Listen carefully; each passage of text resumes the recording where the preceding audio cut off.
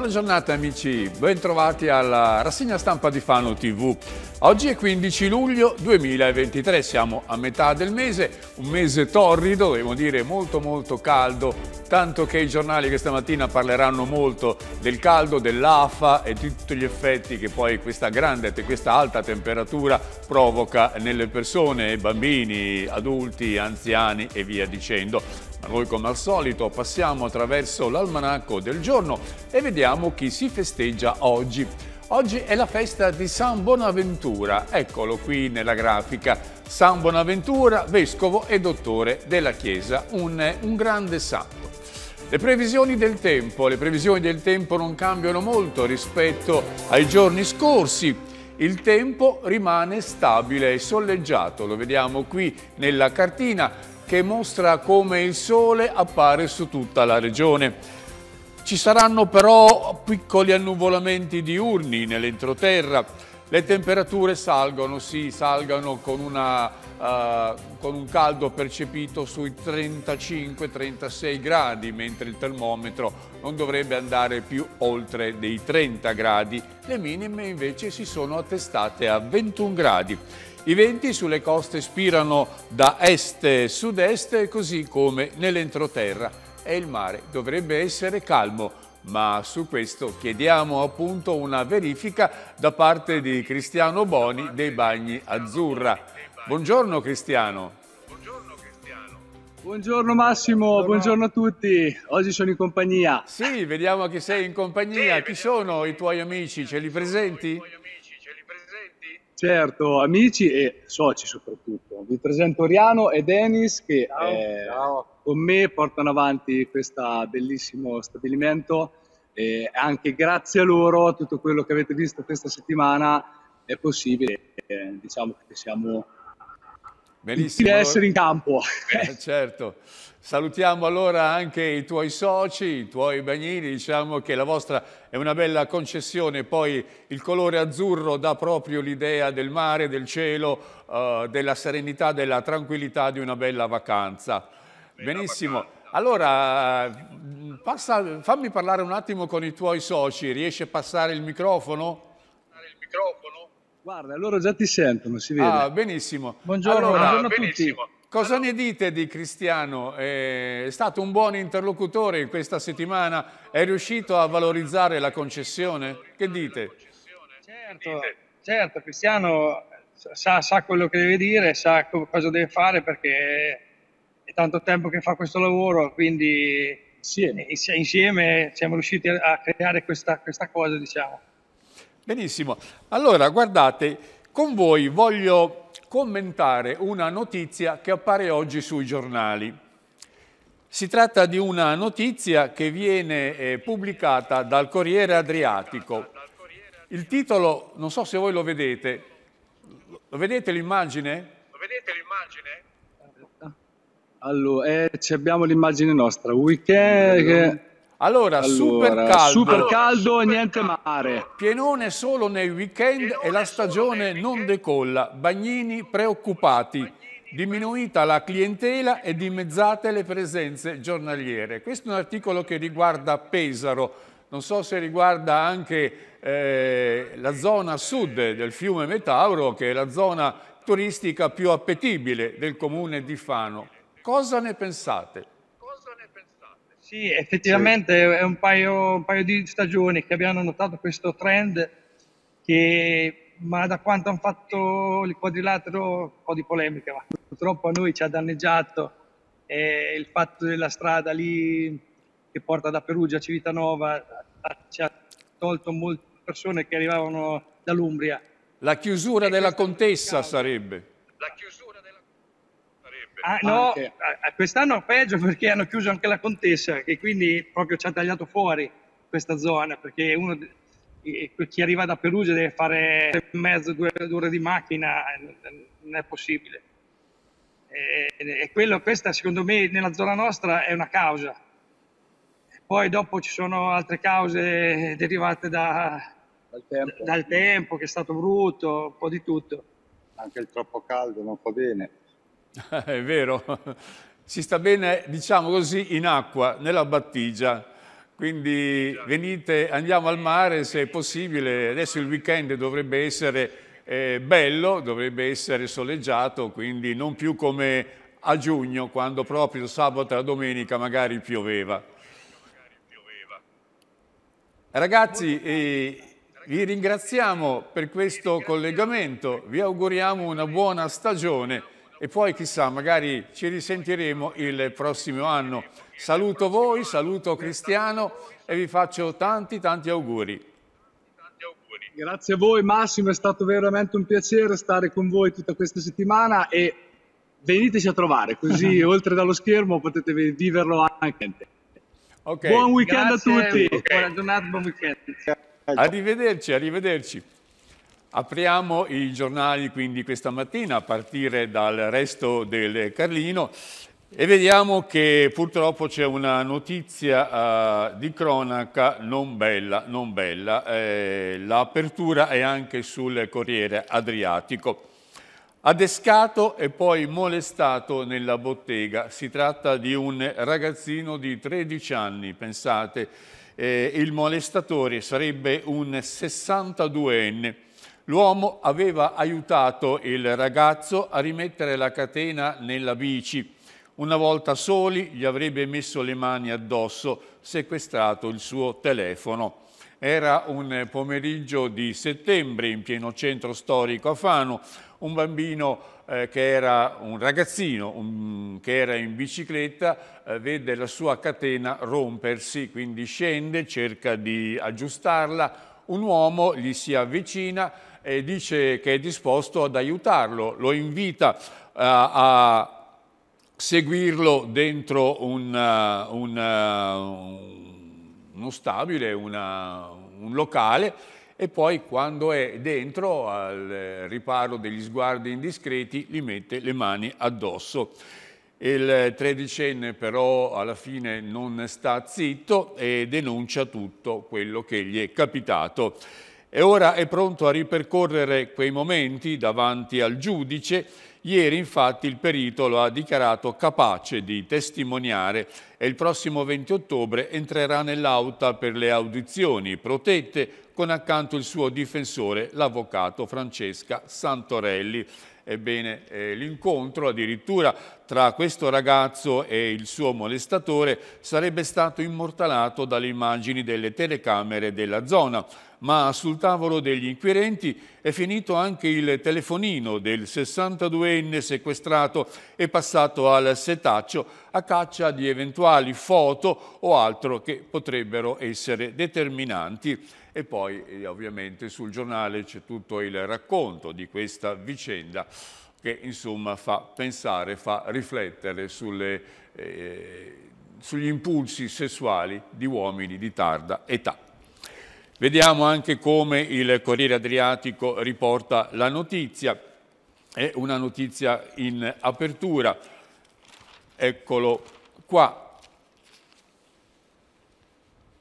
Adesca un tredicenne con la bici in panne, un ceramista accusato di abusi sessuali. Indagato un 62enne con una bottega in centro, la giovane vittima sarà ascoltata dal giudice. E torniamo ora al resto del Carlino dove vediamo il resoconto di una conferenza stampa che il Partito Socialista ha convocato nella giornata di ieri. Qual è il tema in discussione? È la ristrutturazione e la riforma dell'ambito sociale. Fano è capofila dell'ambito sociale numero 6 che comprende nove comuni. Che cos'è l'ambito sociale? L'ambito sociale è un insieme di comuni che si occupa appunto di sociale e di assistenza soprattutto ai più bisognosi, ai disabili, alle famiglie in povertà ed è veramente un compito essenziale quello perché poi questo fenomeno così del bisogno si estende sempre più sia dalla costa che nell'entroterra.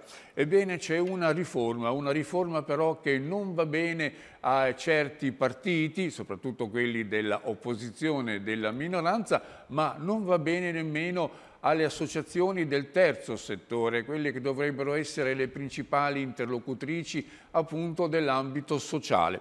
Ambito che dovrebbe essere trasformato, secondo la riforma, in azienda pubblica dei servizi. Ebbene, il progetto elaborato oh, è presentato dall'assessore al welfare di comunità Dimitri Tinti, viene contestato appunto anche dai socialisti. E sono stati Tiziano Busca, Bruno Rapa e Anna Frontalini, li vediamo qui nella foto, a appunto esporre le loro ragioni, ragioni del dissenso. Innanzitutto contestano il fatto di un organo monocratico che dovrebbe sovraintendere e decidere questa nuova realtà sociale. E quindi cosa fanno? Invitano i partiti a non votare in Consiglio Comunale questa, uh, questo progetto che è stato appunto uh, redatto dalla maggioranza e in più chiedono un consiglio monografico per discutere appunto eh, in modo ampio, in modo completo, la riforma del settore. E dobbiamo dire poi che su questa, uh, su questa vicenda uh, ci sarà anche oggi una conferenza stampa di tutti i partiti di opposizione che seguiranno un po' quello che abbiamo detto fino adesso. Giriamo la pagina e vediamo la, la battuta del eh, presidente della cooperativa Alberghi Consorziati di Fano, Torrette e Marotta, Luciano Cecchini, alle accuse eh, alle accuse, diciamo così, alle dichiarazioni che ha fatto l'assessore al turismo Etienne Lucarelli contro appunto la cooperativa, un consorzio che secondo Lucarelli non risponderebbe più alle esigenze di interlocuzione da parte dell'amministrazione comunale in quanto non rappresenterebbe, sempre secondo Lucarelli, le esigenze degli albergatori. In realtà così non è, dice eh, Luciano Cecchini che si è sentito molto amareggiato e sorpreso delle parole dell'assessore, ebbene noi siamo un interlocutore credibile, ha detto per le imprese, e fino a prova contraria lo siamo sempre stati anche nei confronti delle amministrazioni comunali anche di diverso colore che si sono succedute alla gestione della città. Siamo andati in questa situazione oltre le righe, una situazione che dovrebbe essere ricomposta, secondo Cecchini, ma a questo punto l'assessore Lucarelli dovrebbe presentare le sue scuse nei confronti degli albergatori che ha contestato, albergatori ovviamente che fanno parte dell'associazione alberghi consorziati.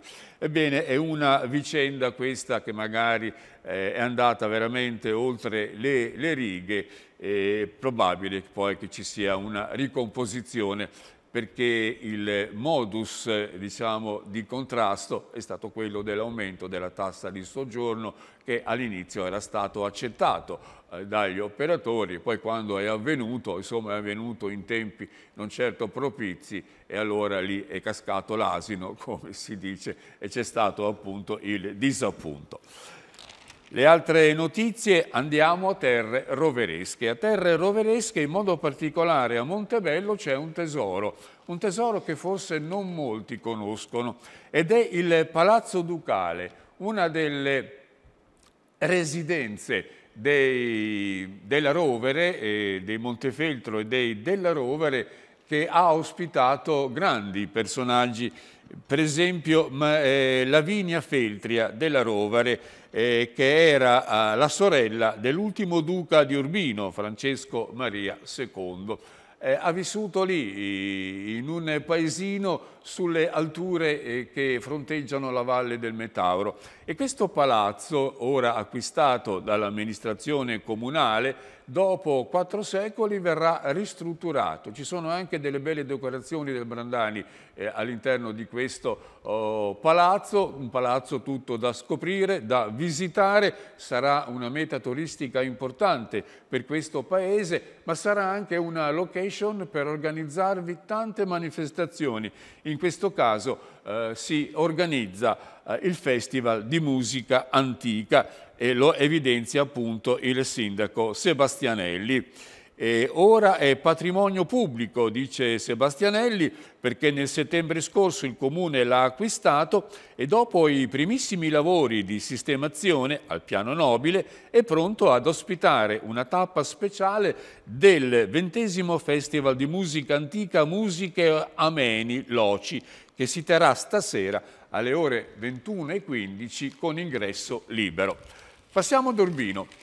Ad Urbino eh, l'amministrazione comunale collabora a, a restaurare, a, insomma, a dare un, maggior decoro ai loculi del cimitero, in modo particolare per quelle famiglie che evidentemente non riuscirebbero a sostenere una spesa che non è affatto poco ingente. La manutenzione spetterebbe ai parenti dei defunti, ma ma l'amministrazione ha deciso di stanziare fondi per abbattere i costi. Sono 365 i loculi nei cimiteri di Urbino e Pieve di Cagna che sono in gravi condizioni di manutenzione. Ebbene, questi allora verranno eh, ristrutturati e grazie anche ad un contributo del Comune. Il lotto che viene restaurato è nel cimitero di San Bernardino, si tratta del lotto 1983 Monte e Valle e due lotti 1985 Monte e Valle per un totale di 260 locoli. A Pieve di Cagna invece i locoli sono 105 divisi tra il lotto destra ingresso Valle e il lotto sinistra ingresso Monte, quindi sono questi i locoli che verranno uh, verranno uh, migliorati per quanto riguarda il lato funzionale ed estetico.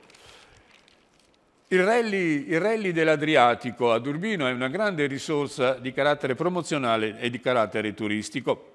Sono 89 gli equipaggi che sono già iscritti a questa gara, hanno confermato la loro adesione all'evento che si terrà oggi e domani, rimandato questo evento dopo la recente alluvione. Urbino è un po' il quartiere generale, a Fermignano ci sarà lo shakedown e il parco assistenza, mentre Caglio ospiterà le prove, ospiterà le prove speciali. Quindi una eh, che coinvolge benissimo tutto il territorio. Vediamo anche la pagina eh, di Pesaro, dove si parla di furti di biciclette, Furti si salvi chi può, pochi denunciano e chi la ritrova deve dimostrare che è sua. Ebbene, fare, serve fare delle foto alle biciclette in modo che se poi si perdono oppure vengono rubate eh, c'è un documento che aiuta a dimostrare che quella bici appartiene appunto a chi la ricerca. La polizia locale non basta dirlo, servono foto o altri particolari che eliminino le, le incertezze. Ad esempio il numero del telaio si può appunto trascrivere e mantenerlo nella propria abitazione. E con il caldo, l'abbiamo detto eh, prima, con il caldo eh, va in eh, fibrillazione anche il pronto soccorso, perché poi si moltiplicano le persone che hanno bisogno di pronta assistenza. Anche il pronto soccorso bolle, dice oggi il resto del Calino, siamo soltanto all'inizio, ma il personale ce l'abbiamo. Parla così il primario, il dottor Giancarlo Titoli, che fa il punto sugli accessi. Probabilmente aumenteranno anche nei prossimi giorni. Ebbene, arrivano in serie, qualcuno accompagnato anche dai familiari, altri per la maggior parte, a bordo di ambulanze del 118. Sono soprattutto gli anziani, vittime del caldo, del caldo africano che sta arrivando e, con, e, che non mollerà la presa anche nei prossimi giorni, anzi nei prossimi giorni sembra che la colonnina del eh, termometro, eh, la colonnina del mercurio salga ancora di più, quindi facciamo attenzione. C'è anche un'altra pagina che riguarda questo argomento. Prigionieri dell'AFA, acqua integratori per resistere in strada al sole che picchia. Soprattutto chi lavora sull'asfalto, quindi chi fa la manutenzione delle strade, chi lavora nell'edilizia, eh, occorre che si protegga perché veramente lavorare sotto il sole ad alte temperature fa male alla salute.